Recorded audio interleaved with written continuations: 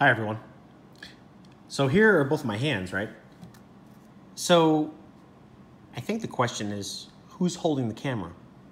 Well, that's actually an easy answer. Titan's doing it. See, I gave him a treat, and he was like, sure, I'll hold the camera for you. I'll hold the phone. It's fine. So, there, there, there, there's your answer. Okay. Uh, let's do this. I can't really give you answers yet because I've only got about half of you uh, who turned this in. And uh, so that's not fair, right? So let's do this. I'm gonna make this video to help you solve these problems. And I certainly will probably get close to the answer on some of them because there isn't really much of actual teaching that needs to happen here. Um, but I will give you the uh, the answers a little bit later this evening, okay? And I'll put them out on uh, Remind for you, okay? All right, so number one, look at the radical. There it is. There's the radical right there, okay? What is a rewritten form of this radical? Well, okay, so the real way to do this is to simplify this radical. You know, uh, find a perfect square that could fit into 726, and then simplify it all the way down until you get something like this. That seems to be a little bit much. So what we can do instead is put this value, stop writing on here. If you put this value into the calculator and get a decimal result, all you need to do is find out which one of these also has that same decimal result when you put it in the calculator. So for example, negative 8 root 726 gives you a decimal. If you plugged in negative 88 root 6, if it's the same decimal as that, that's your answer. If it's not the same decimal as that, move on to uh, choice B, okay? Number two, exactly the same idea.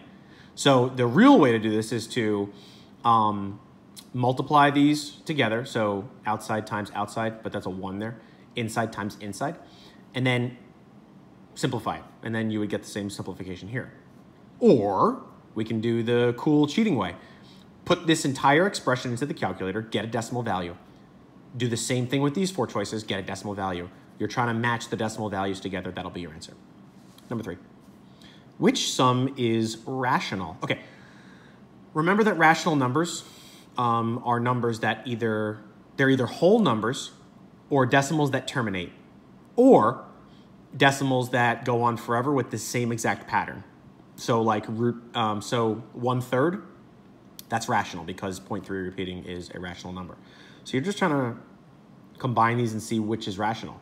I think that you'll realize that the answer is easier than you think it is, okay? But using a calculator might help there, okay? Number four, which product is irrational? Okay, so product multiply. Same exact idea, except irrational is where I have a decimal value that goes on forever with no pattern, okay? Moving on. Hopefully your day's going fantastic. Ooh, okay, number five. A rectangle has a length of 12 meters and a width of 400 centimeters. Whoa! Okay, meters and centimeters. Problem, right? We need to have the same thing. What is the perimeter in centimeters of the rectangle? Okay, two things you need to know. First, that centimeters is good to go. That's not. I need to convert 12 meters to centimeters. So a quick Google calculation will do that for you. And if I want perimeter, I'm looking for adding up all four sides of that rectangle. Okay, okay. Number six. Oh my God. Jill swam 200 meters in two minutes and 42 seconds. If each lap is 50 meters long, which time is her estimated time in seconds per lap? Okay. So again, we're looking at estimated time in seconds per one lap. Okay. So we want to find out how much, how many seconds it took her to do that. Um, we've got two minutes and 42 seconds. What you want to do is you want to convert all this to seconds okay?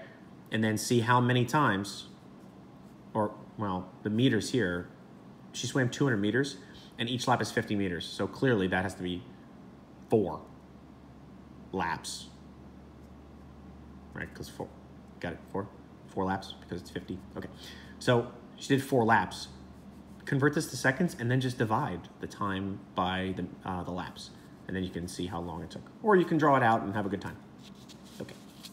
That's not number seven. In which expression is the coefficient of the n term negative one? Okay. Coefficient means the number in front of a variable. and the n term. A little bit of a clarity here. Not the n squared term. Not the n squared term. The n term. Okay. You, okay. The expression s squared is used to calculate the area of a square, where s is the side length of the square. What does the expression 8x squared represent? Okay, well this is way simpler than it seems to be. There's an 8x where what used to be? S. Okay. Moving on. You figured that out. Number nine. Oh gosh, so easy. What is the product of 7x minus 4 and 8x plus 5? Put parentheses around these two things. Product means multiply. Please FOIL. FOIL! Okay. Last one, number 10. You've seen this problem before. Um, at least once. So model of a house is shown. What is the perimeter in units? Please remember that perimeter is the adding of all of the outside lines. Outside, that's not outside. That's not outside, that's inside. No, no good. Not, not outside. Don't do this one, okay? All right, that's 10 problems. I'll post the answers later. See ya. Goodbye.